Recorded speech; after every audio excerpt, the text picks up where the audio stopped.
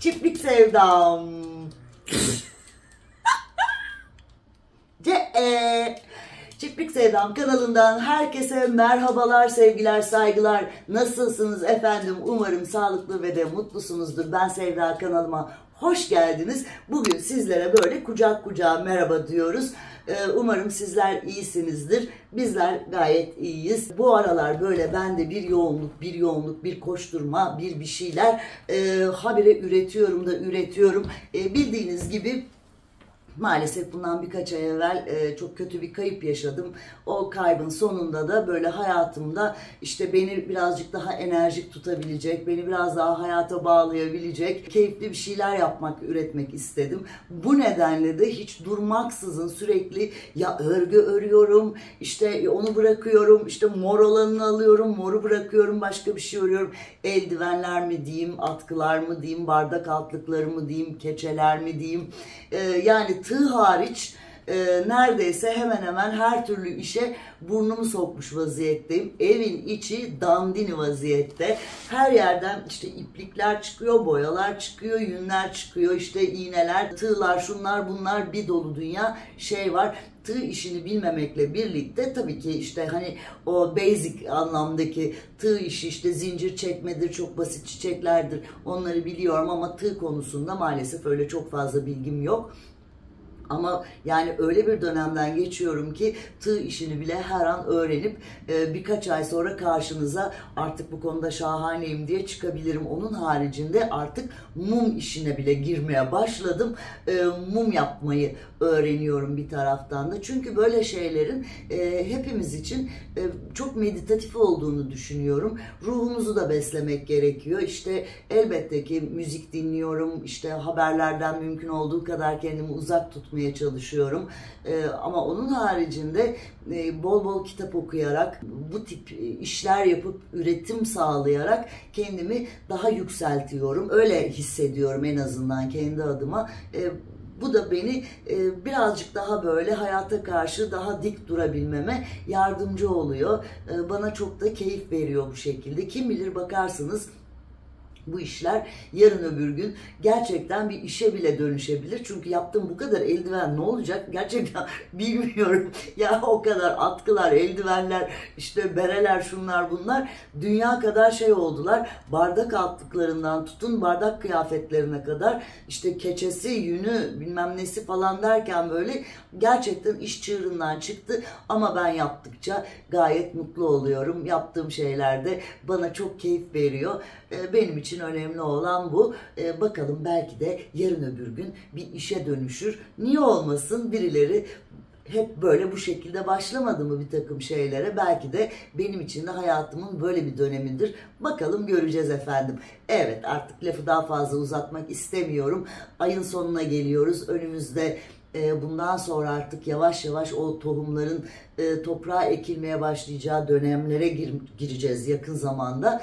E, o süreyi de bu şekilde böyle üretimli bir şekilde yürümeye, atlatmaya gayret ediyorum. O dönem geldiğinde de başka bir enerji, başka bir ruh, başka bir keyif girecek tekrar hayatıma biliyorum ki. Her gün böyle gidip o toprağa bakacağım, seveceğim. Onlardan işte kim kafasını çıkarmış bugün, kim çıkarmamış, kaç günde büyümüş, ne olmuş diye onları takip edeceğim. Evet bunun için elbette ki neye çok ihtiyacımız var? ay takvimine ihtiyacımız var efendim. Çünkü doğru zamanda doğru ekimler, e, dikimler yapmak durumundayız. Böylece neden daha e, verimli bitkiler elde ediyoruz? Daha sağlıklı, daha dayanıklı olan e, bitkileri elde etmiş oluyoruz. E, bunun için ay takvimine ihtiyacımız var demiş idim. E, o zaman başlayalım ne duruyoruz? Ama ne zaman? Az sonra.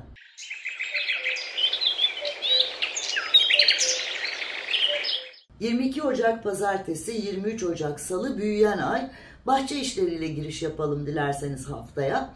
Çit taş döşemiyoruz yoksa kısa sürede yerlerinden oynamaya başlayacaklardır. Yabani ot temizliği çapalama yapmıyoruz. Yabani otlar kökleriyle gelmeyecekleri için çok daha kısa sürede daha hızlı yayılacaklardır. E, bitki ve ağaçları gübrelemiyoruz. Bitkileri özellikle saksıda baktığımız bitkileri sulamıyoruz bugünlerde kesinlikle. Yeni bir kompost oluşturabilir veya kompostunuzu organik maddelerle besleyebilirsiniz.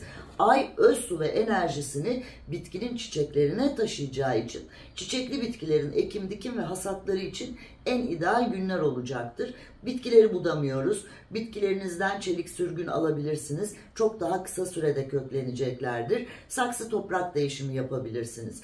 Sağlık bakım bilgilerine bir bakalım. Omuzlarımız, kollarımız, ellerimiz, solunum yollarımız, iç salgı bezlerimiz, bronşlarımız ve sinir sistemimiz çok daha hassas olacak olan organlarımız.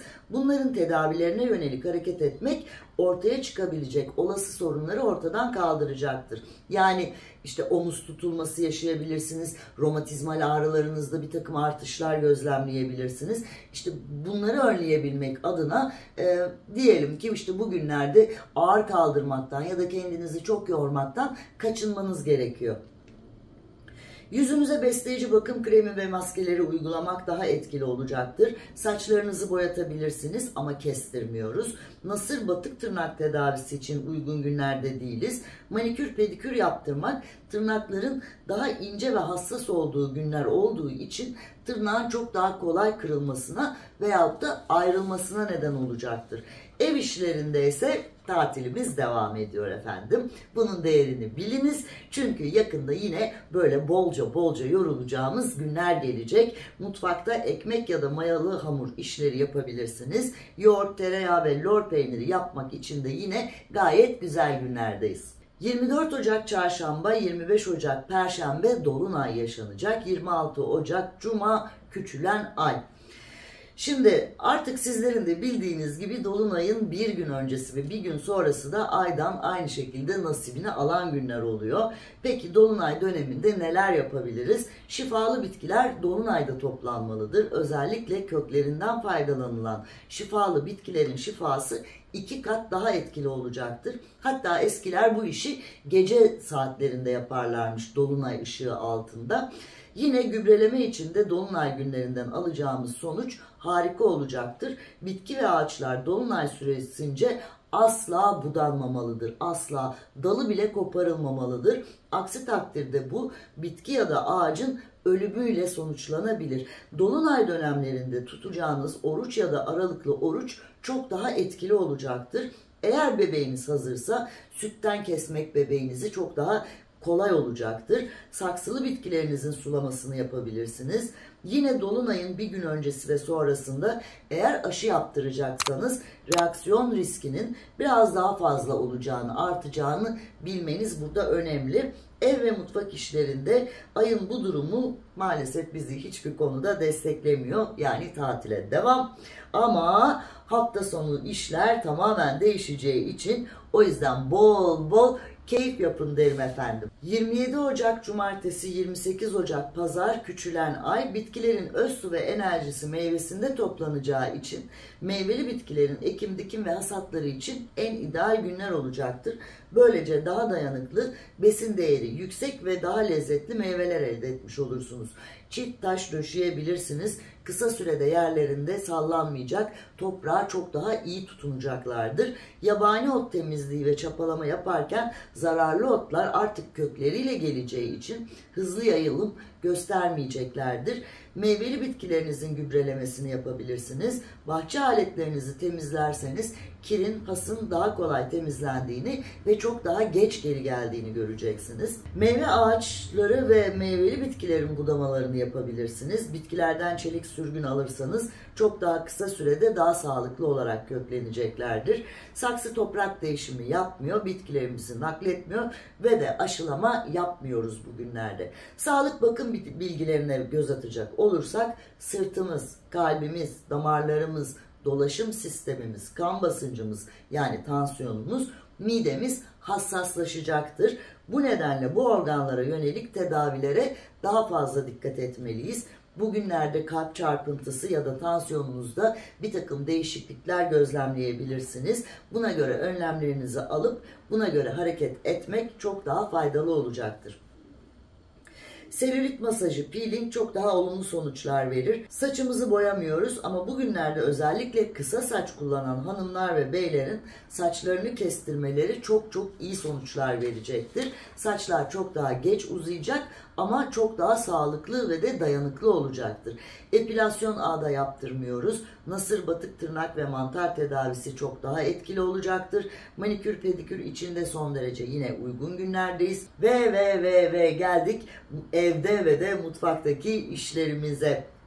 Vuhu! İşte ben size dedim dinlenin diye şimdi hafta sonu birazcık yorulun bakalım. Böyle bol bol yorulun yorulabildiğiniz kadar diyorum. Boya ve duvar kağıdı kaplamak dışında aklınıza her ne iş geliyorsa yapabilirsiniz. Ütü çok daha kısa sürede bitecektir. Elektronik aletlerinizin temizliğini yaparsanız kir, toz çok daha geç geri gelecektir. Kireç çözme, pencere temizliği, ev temizliği, kafes kümes temizliği, küf temizliği çok daha kısa sürecek ve de etkileri çok daha uzun süreli korunacaktır. Mutfakta ise işler şöyle olacak ekmek ve mayalı hamur işleri, sebzelerin fermente edilmesi yani işte sirke turşu yapımı, konserve yapımı, reçel, yoğurt, tereyağı, yavaş olgunlaşan peynir yapmak için şahane günlerdeyiz. Bu hafta sonu evdeyiz efendim ve tatil falan yok. Ee, artık biz tatildeyken işte biliyorsunuz evler pislendi, mutfakta işler birikti. Ee, o zaman şimdi artık ne zamanı? Artık şimdi çalışma zamanı. E hadi o zaman ne duruyoruz? Hemen başlayalım bir şeylere girişelim. Bizden bu haftalık bu kadar olsun. Önümüzdeki hafta sağlığım el verirse yine sizlerle birlikte olmaktan ben mutluluk duyacağım efendim. E, umarım sizlerin evlerine konuk oluyorumdur. Umarım e, bizleri sosyal medya hesaplarınızda, WhatsApp gruplarınızda paylaşıp daha çok insanın bu bilgilere sahip olması için bizlerden desteğinizi esirgemiyorsunuz olmuşsunuzdur. Şimdiden hepinize çok çok teşekkür ediyorum. Önümüzdeki hafta görüşebilmek dileğiyle şimdilik. Hoşçakalın.